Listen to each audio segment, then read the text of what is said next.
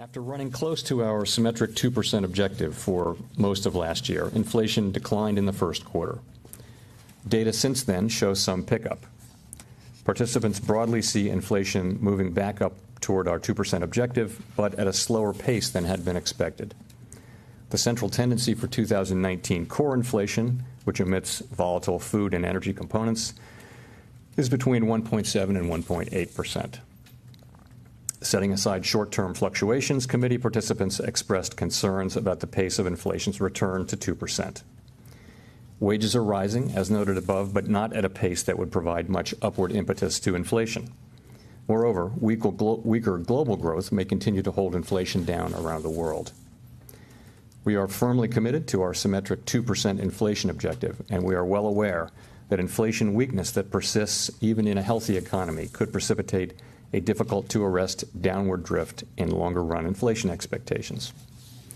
Because there are no definitive measures of inflation expectations, we must rely on imperfect proxies. Market-based measures of inflation compensation have moved down since our May meeting, and some survey-based expectations measures are near the bottom of their historic ranges. Combining these factors with the risks to growth already noted, participants expressed concerns about a more sustained shortfall of inflation. Overall, our policy discussions focused on the appropriate response to the uncertain environment. The projections of appropriate policy show that many participants believe that some cut in the federal funds rate will be appropriate in the scenario that they see as most likely. Though some participants wrote down policy cuts and others did not, our deliberations made clear that a number of those who wrote down a flat rate path agree that the case for additional accommodation has strengthened since our May meeting. This added accommodation would support economic activity and inflation's return to our objective.